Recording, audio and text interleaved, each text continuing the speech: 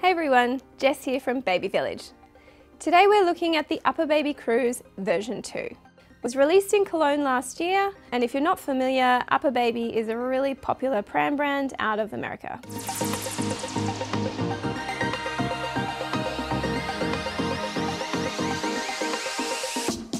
The Upper Baby Cruz has been designed for urban parents, so people who like to get around the city but still go for walks at the weekend.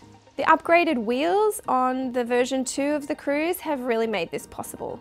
So they're a much softer PU fabric and the back wheels are also now set outside the frame.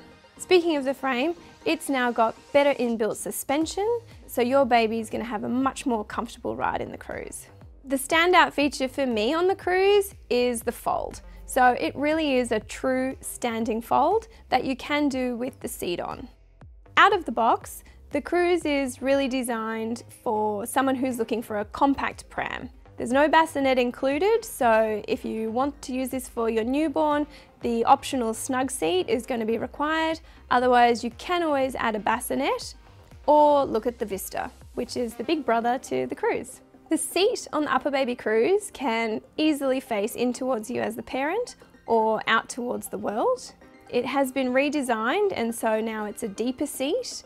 Uh, it also has a higher back, which for both cases means that you're going to get much more longevity out of the pram itself. The harness has been redesigned, so as your child grows, you just use the sliders, where previously it was a thread through. The buckle has also been redesigned and it's much easier to use.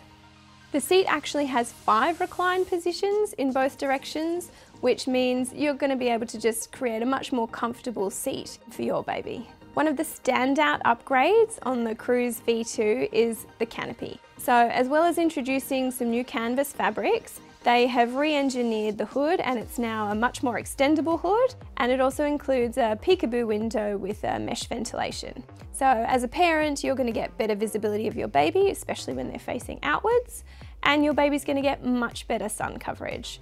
I think certainly the Cruz is a really well designed pram for parents who maybe live in an apartment and have less storage. That standing fold is going to make life really easy for you. Similarly, getting the pram in and out of your car boot, if that's what you're going to do, is going to be much easier. The basket on the Cruz has been redesigned. It's slightly larger and it has an easy access back to it now. Tagline for the Cruz is compact without compromise. And I really think UPPAbaby have done a great job of achieving this. Certainly if you are looking for that more compact city living pram, but something that you can take walking at the weekend, I think the Cruz is certainly a pram that you should consider. If you've got any questions about anything I've covered today or anything else in the Baby Village lineup, head over to our website, babyvillage.com.au. Otherwise, I look forward to seeing you next time.